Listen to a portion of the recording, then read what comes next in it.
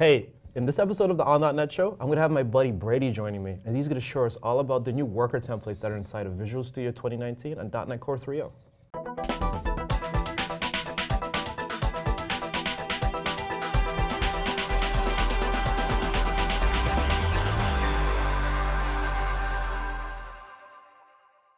Hey everyone, welcome to another episode of the On.NET Show.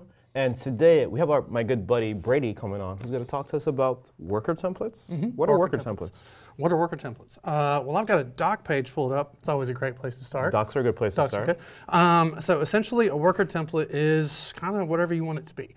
So um, in the past, if you had something like a like a web queue worker type scenario, Sure. where you've got a web app and the web app's dropping stuff in a queue, and you want your web app to be fast, And you need a thing to process those messages and whatnot, that's where worker comes in. Got it. So in the past, you and I would probably write what like like a Windows service Or, or, like a bash shell, or a console. console app, Console app, file new console application. File new console app. Yeah. So essentially, this is kind of your file new console application for Mm-hmm. the microservice folks like you and I. If you need to write like a background service, the nice thing about this is we took all the stuff that we knew.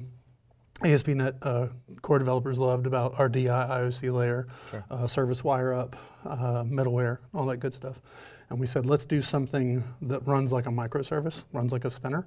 Um, I call them spinners. Um, runs like a spinner, and Yeah. you can just like watch a queue or feed messages. In my case, I use it to like generate test data. So Right. you know, um, but So it's, it's like an always running service, right? Exactly. But there's no none of the web stuff in it. Exactly. There's well, there's none of the web stuff except for the hosting abstractions. Okay. So we've got like all the ASP.NET Core hosting abstractions, not necessarily the web host. You can dial that in if you want to, Okay. but it's really just the host runtime to be able to do services dot add transient, add singleton, all the IOC, all the logging, everything that you know and love from ASP.NET Core. Nice. And we're working with other app model owners in the .NET 5 wave to actually bring that type of experience to things like Xamarin Oh, uh, to other to other app models. So if you're into the DI IOC stuff that we've done in ASP.NET Core, the concept of hosting or generic host, you're going to see that popping up more and more. Right. So um, we did an interesting experiment with uh, James Montemagno, uh, where we filed a new project, a Xamarin app, and he actually used a worker.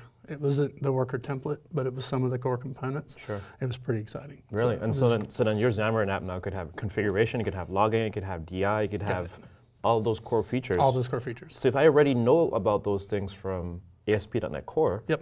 Right? Like I can put them in my console app, I can put it inside of my um, my mobile app with Xamarin. Exactly. Exactly. Maybe even a Windows WP desktop type Let's application. Cross our fingers. Let's I will- cross I will see what happens. Yeah, yeah, we'll Okay. see. Yeah, we'll see what happens by November. Okay. At This this this year's big wave. Fair enough. So if you want it, you can do .NET New Worker, Mm-hmm. uh, or if you're inside Visual Studio, the way I am right now, I can just type in Worker. Um, I don't have any in there right now because I want to do a new project. So I'll do a new project, and that's when I would do a search for Worker. So I'll do a search for Worker right here, and what you'll see there's the Worker service, and it sits right next to the container application for Kubernetes, which is a great place for you to essentially use Azure Dev Spaces to like kind of uh, take the take the worker that you would otherwise have running locally on your computer Sure. and ship it up and you know debug it in the cloud using something like Azure Dev Spaces. Yeah. So quick question about this though. Sure. So what do I have to do to get that template? You have to install .NET 3.0 or higher. Um, That's it? That's it. Okay. So once you have the .NET, let's say you know because you're running the latest stuff. If you have the latest, and I'm going to say I want to enable Docker support, and I'm going to run it in Linux because I'll probably run it in a Linux container. Um, But once I have .NET 3 You and it. above, I just have it. You just So have the that's it. worker template in there. And like I said, if uh, we were on my Mac, I could do .NET New Worker, and I have that Yeah. capability, or on Linux or any other platform where it runs. Uh, and you mentioned Windows services. Mm-hmm. Uh, we actually have a NuGet package that you could install into, say, a worker project, Sure. where you could make it run as a Windows service. So Nice. instead of you having to go and create a new Windows service project, go back out to .NET Framework, Yeah. you can do all those same things in the middle where it looks like everything else. I think it's use Windows services or add Windows sure, sure. service. Um, so essentially, you get two files. One's program CS. Okay. If we were looking program CS, you'll see we're just creating the host builder, and then we're saying services dot add hosted service because uh, all the workers inherit from. Let's open the worker up here. Uh, worker inherits from a class called background service. Yeah. And background service implements a very simple interface. If I can find good a definition. F12. Uh, F12. Oh yeah. Thank you. I'm, I'm, I'm coming back to VS. It's been fun. I've been on a Mac for a little while. Uh, you'll see that uh, uh, it, it implements IHostedService here. So I've got start async and stop async. And then since it is this background service implementation, I've got execute async. Got. And if you were to take a look in the uh, execute async method, we sort of give you, you know, just a little guidance here. Just keep running. You know, Sure, um, sure, as long as somebody hasn't canceled this process, just take a delay in this loop and just write, you know, the worker's running. Um, so I've got one that does a little more work. Um, pop over here. In this case, I've actually uh, made use of uh, Bogus, uh, which I think I might need to grab my license key. Uh, that's going to be unfortunate. I might not do what I needed to do. Um, but I would have to grab my license key and put it in here. Uh, this may or may not run when I try to run it locally. But essentially what Bogus is for is for generating Fake bogus data. data. You know, generating bogus data. So what I'm doing here is I'm actually generating, uh, generating a random, you know, person. And when I generate that random person, I'm actually generating uh, latitude and longitude. This is the part that may, in fact, uh, blow up. If it does when I run it locally, we'll, uh, we'll just turn that part off. So I'm just going to hit map, map.generator because that's all we're going to do is generating maps, uh, map dots. Now the idea that I wanted to bring you, and going to be a, a show later on that I might do, um, is if I were to flip over to our blog here, F5, make sure this is running. If I were to flip over to the blog over here, what you will see is that we have a new blog out talking about Blazor WebAssembly. Yeah. So this is like your client-side Blazor type stuff. Mm-hmm. And if I were to scroll way down in here, you'll see a part that's super exciting to myself and most of the other uh, real-time Army uh, members, the SignalR fans, Yeah. is that now you have support inside of Blazor WASM for supporting uh, SignalR.net clients. Oh, very cool. Yeah, it's very cool. So this is Okay. a this is a new thing people have been asking for a while. Like I'm used to SignalR. Blazor's exciting, but it'd be great if I had my uh, SignalR. work as well. Yeah, if you know SignalR love Blazor a little bit more. So we've done that in this release. Nice. So I would definitely encourage that you come out here and take a look at it.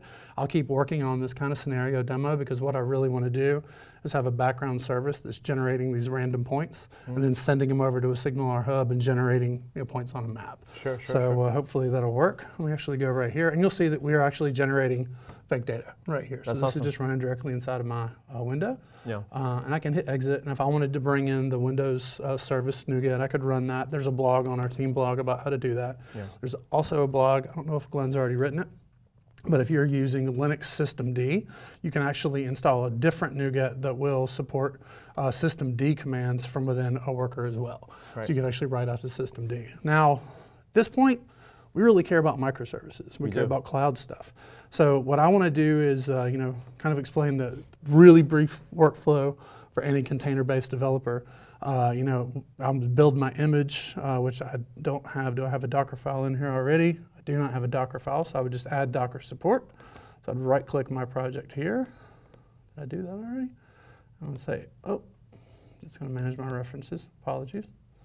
Yeah. Well, what I think is great about this is, so we talked about we could use systemd services, right? We could do uh, Windows services. So like these are operating system controlled, Exactly. long running oper- like events and things like that. Right, right. But like we could also use the same worker template for Docker containers. Exactly, for Docker containers. So we can talk about Docker, we can talk about Kubernetes, we Mm-hmm. could talk about whatever orchestrating thing that you want to do. Exactly. And if you've ever done anything with Docker containers, you see I've already got my Docker file. Uh, the wonderful tools in VS have helped, helped me to get my Docker file here. Yeah. So what I would do at this point is I would right click this and we've added this great capability to be able to right click publish. And I know some folks don't like right click publishing, but I want to clarify that what we're right click publishing here is our Docker image and we're actually publishing it into a Azure Container Registry. Nice. Now the idea behind that is that's kind of my first step.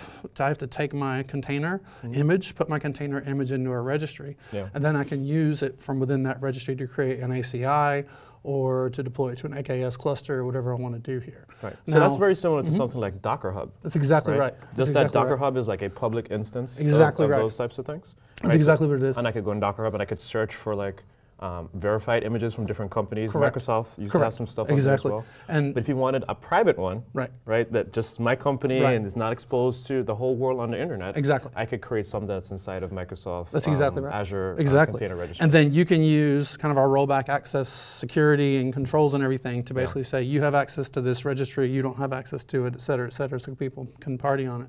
Um, while that's publishing, because I'm going to flip over and do something kind of a part two here in a minute, but before we do, if all of this cloud native stuff is important to you out there in, in Viewerland, I want to call out that uh, Mr. Hunter and I are going to be in Techorama in Belgium on June 2nd to 4th. Yeah. And we're going to be giving a workshop on basically doing .NET Core and Cloud and Cloud Native. Nice. So you would kind of see a very practical guide as to how to walk through all these things. We're not going to get too theoretical, but there are some other great theoretical sessions that are going to be there. I would encourage you to check them out. And then if you're going to be going to uh, Dev Intersection, we're going to be doing the same workshop down in Orlando uh, later on this uh, year in April. So basically in this video, you know, we've already shown you how to kind of get started with the worker template, how Yeah. to right click publish it to a registry, which is your first step to deploying it. We're going to come back in a minute once it's done publishing and do a second show on uh, pushing it to Azure Container Instances and maybe to AKS. Yeah, that sounds great. Yeah, let's do that. So again, in this video, we learned a little bit how we could use those worker templates that are inside of Visual Studio and, and .NET Core 3.0 to create like some really interesting services and background running things. Mm-hmm. And now we're gonna follow up with another video where we're gonna look at creating containers and also running that stuff inside of Azure and running it in the cloud.